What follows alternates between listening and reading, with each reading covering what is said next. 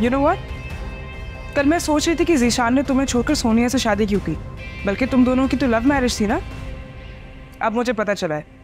तुमने क्या किया होगा जीशान के साथ और उसकी फैमिली के साथ?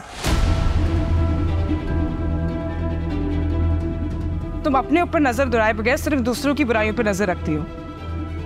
तुम किसी की इज़्ज़त नहीं कर सकती, क्योंकि तुम्हारे नज़दीक सिर्फ़ तुम्हारी ज़्यादा अहम है। और जहाँ इज़्ज़त ना हो, वहाँ ज़्यादा देर मोहब्बत भी कायम नहीं रह सकती।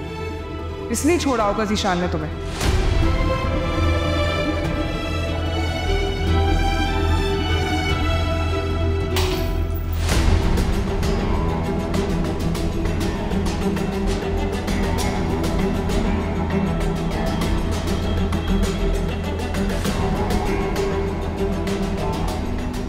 शाजमा? क्या हुआ है? क्यों ग्लास तोड़ा है? पागल हो गई हो क्या? अपनी बहू को बोले कि आइंदा मुझसे तमीज से बात करे। अगर इसने मुझसे कभी भी बदतमीजी की तो उसका वही हशर करूँगी जो इस क्लास का किया मैंने।